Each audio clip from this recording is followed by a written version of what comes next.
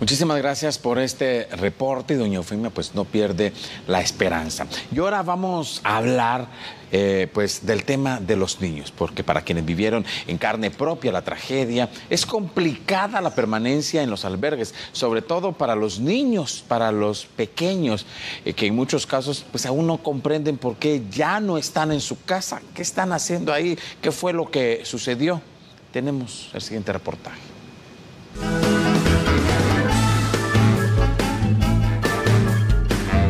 Tratar de olvidar un poquito lo que ha pasado acá, pues aquí en esta área permanecen los niños. Ellos están siendo entretenidos por varios voluntarios. En este caso, la licenciada Vanessa Acurup, quien también ha venido y ha estado con los pequeños para que ellos traten como de olvidar lo que pasó. Sin embargo, hay niños que no pueden olvidarlo, ¿verdad, licenciada? Usted nos mencionaba de unos dibujos que les pidieron hacer y ellos ahí reflejan lo que pasó. Exacto, así podemos ver el collaje que hicimos. Este, ellos ahí están proyectando a varios, pues les afecta de una forma, a otros de otra forma, conforme lo van procesando, ¿verdad? Algo que comentábamos con los demás compañeros de psicología es que hay unos que no han entrado en la realidad de lo que está sucediendo. Entonces, las actividades ocupacionales que se le están realizando es mm, a manera de que ellos eh, poder controlarlos, poder ver cómo están reaccionando emocionalmente, ¿verdad? Son 79 menores de edad los que permanecen en esta área. Vean, aquí se están divirtiendo. ¿Qué están haciendo? Jugando. ¿Qué están jugando? ¿Para dónde?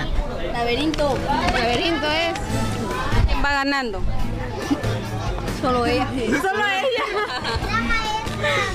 ¿Cómo te sientes el poder ayudar a estos pequeños a olvidar un poquito el dolor que vivieron?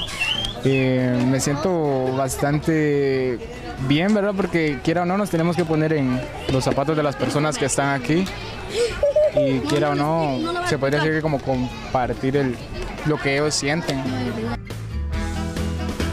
¿Querés un globo?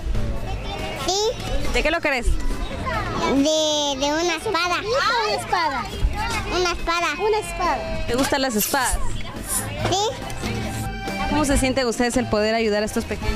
Pues la verdad nos sentimos muy emocionados el poder estar acá compartiendo con cada uno de estos niños necesitados de esto, trayéndoles un poco de alegría, un poquito de diversión, ¿verdad? Acompañado de muchos compañeros como Loquillo, como mi compañera ya Cebollita, ¿verdad? Apoyando esta noble causa.